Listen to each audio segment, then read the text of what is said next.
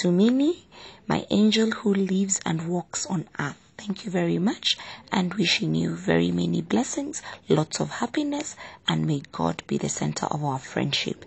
Happy birthday.